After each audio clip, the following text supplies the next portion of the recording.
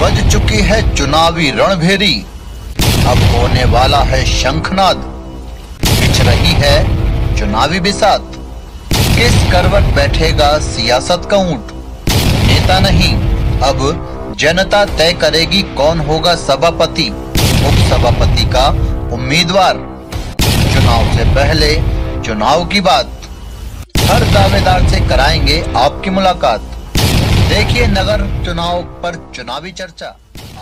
इस वक्त रामपुर के कैमरी में हूँ और यहाँ पर जो है नगर पंचायत में जो है चुनाव प्रक्रिया शुरू हो चुकी है और नामांकन प्रक्रिया भी जो है कर दी गई है। मेरे साथ परवेज अली हैं इस समय। इन, इनके ही घर से जो है जैतून बेगम को जो है टिकट हुआ है भारतीय जनता पार्टी से और इनकी दावेदारी मज़बूत तरीके से इन्होंने की है। हालाँकि कई दिनों से जो है लोग कयास में लगे थे कि कोई भारी भरकम पार्टी से जो है चुनाव लड़े तो वो दिन आ गया कि सत्ता में ही उनको जो है टिकट होगी और चुनाव लड़ना है। चुनावी मैदान में। परवेज भाई, क्या कहना चाहेंगे? किस तरीके से मुद्दे हैं आपके और पब्लिक का सपोर्ट कितना मिल रहा है आपको?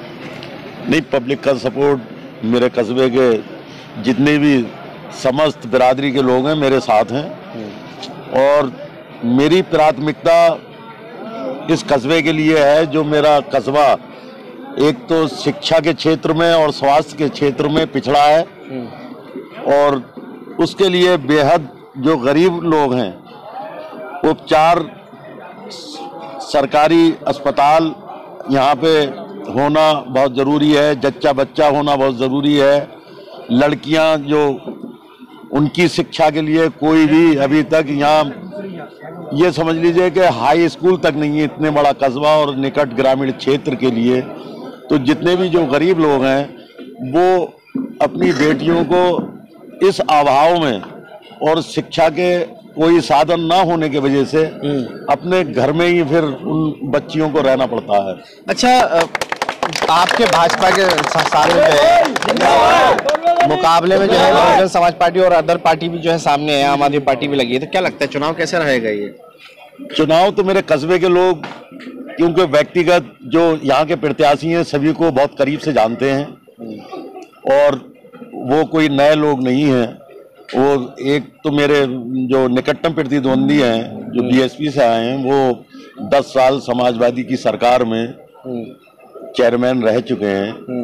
और उन्होंने अपने उस कार्यकाल में इस कस्बे के लिए, जो गरीब जनता के लिए उनको करना चाहिए था, मैं समझता हूँ कि उन्होंने किया नहीं।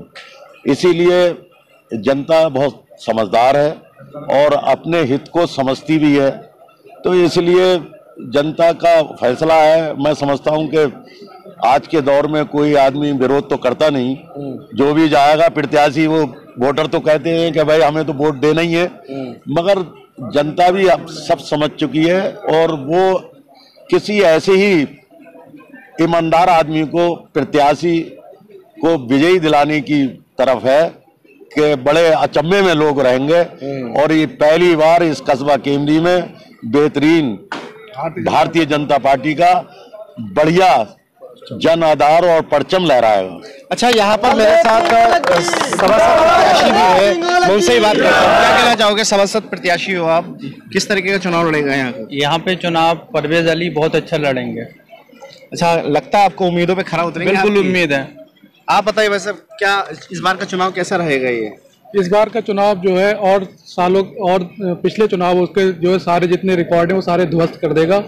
इतना जनाधार बीजेपी का जो है पहले कभी नहीं यहाँ पे हुआ है, जितना लोग आके इससे खुद आके जुड़ रहे हैं। अच्छा अच्छा कुछ आप लोग भी है मैं आपसे कहूँगा। मैं मोहल्ला सिंगड़ियान वार्ड नंबर चार का सभासद पूर्व सभासद भी हूँ और अब भी उम्मीदवार हूँ सभासद का। और इंशाल्लाह एक काम परवेज भाई ने वो कराया है जो हमारा यहाँ से अस्पताल ताल महावर ट्रांसफ़र करा दिया था लोगों ने। ताल महावर का ट्रांसफ़र रुकवा के परवेज भाई ने डीएम साहब से बात करके केमरी अस्पताल बुलाया है साहब बहुत बड़ा काम करा बहुत बढ़िया बहुत बढ़िया काम मतलब पब्लिक पब्लिक में आप व्यूज़ है आप बताइए भारतीय जनता पार्टी से टिकट हुआ है मुसलमान किस तरीके से हमारा किसी मुकाबला नहीं है हमारी जीत निश्चित है। भारतीय जनता पार्टी। की बहुत बहुत शुक्रिया हमारे साथ बात करने के लिए। यहाँ की कैमरी की जनता है और भारतीय जनता पार्टी को सपोर्ट करने की बात कर रही है। मगर सवाल ये है कि आखिरकार विकास के मुद्दों पे जीत होगी या सियासत पर ही अटक कर रह जाएगी ये जनता तय करेगी। और किसके साथ पर ताज जो है जो है परचम लहराया जाएगा इसको भी जो है यहाँ की जनता ने बाखूबी कहा है। वीडियो जर्नलिस्ट नाजिम के साथ अफान अहमद क्यू टीवी भारत उत्तर प्रदेश उत्तराखंड।